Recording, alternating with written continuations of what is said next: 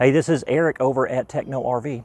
Today I'm on the top of my Forest River Rockwood Mini Lite and I want to talk to you a little bit about AC units and the amperage that they draw and some issues that you can have with that amperage. So this is a 30 amp unit and the typical AC unit will draw about 12 to 14 amps once they've already started up.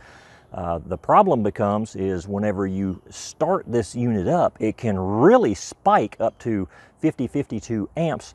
And so if I was going to try to run this particular AC unit, say I was off the grid and I wanted to uh, start it with, say, a smaller generator, that spike could actually, actually create an issue uh, for me.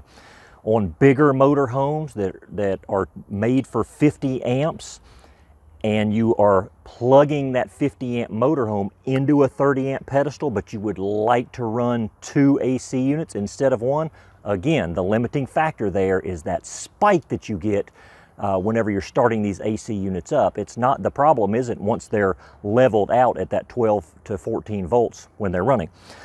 There is a solution for this and it is called Soft Start RV and what Soft Start RV does is it basically eliminates that spike and it basically levels out the spike. So now instead of a, say a 50 amp spike to start the unit up, the, the spike is more along the lines of about 23 or 24 amps.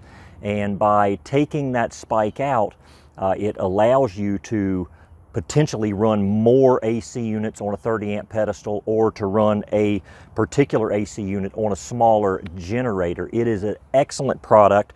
Soft Start RV is the company that we have chosen uh, because we have spoken to them. They have great customer service and we know it to be a quality product and we've got them installed on our units and we love them. So you can check out the Soft Start RV units at technorv.com.